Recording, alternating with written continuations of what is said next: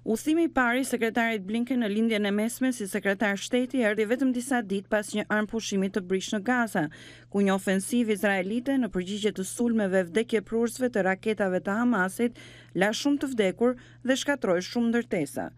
Fokusi i bisedimeve të zotit Blinken këtë javë me kryeministrin izraelit Benjamin Netanyahu dhe presidentin palestinez Mahmoud Abbas ishte se si Shtetet e Bashkuara mund të mbështesin armëpushimin e ndërmjetësuar nga Egjipti dhe të ndihmojnë në rindërtimin e Gazës. Ne e dimë që për të parandaluar kthimin e dhunës duhet të përdorim hapësirën e krijuar për të adresuar një grup më të madh çështjesh dhe sfidash themelore, dhe kjo fillon me trajtimin e situatës së rëndë humanitare në Gaza dhe fillimin e rindërtimit.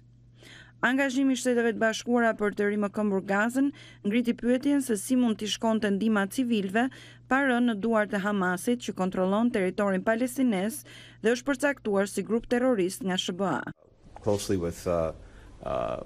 Unë do të punoj ngushtë me partnerët tanë, me të gjithë për t'u siguruar që Hamasi të mos përfitojë.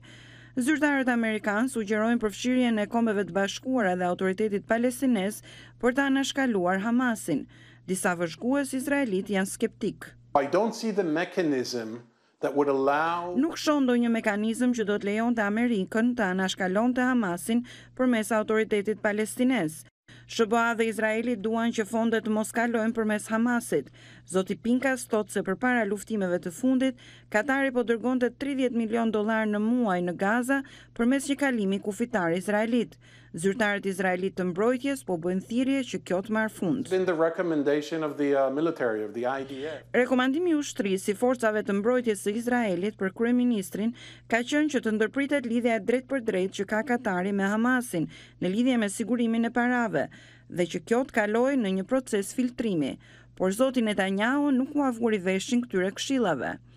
Gjatë udhëtimit të tij, zoti Blinken tha se do të kërkonte shtatëdhjetë e pesë milionë dollarë nga Kongresi për të siguruar ndihmë ekonomike për popullin palestinez. Autoriteti palestinez e përshëndeti këtë angazhim si një fillim të mirëpritur në rindërtimin e marrëdhënieve, të cilat arritën në një pikë historikisht të ulët nën administratën e Presidentit Trump, i cili zhvendosi ambasadën amerikane në Izrael në Jeruzalem dhe shkurtoi fondet për agjencitë e OKB-së që mbështesnin palestinezët.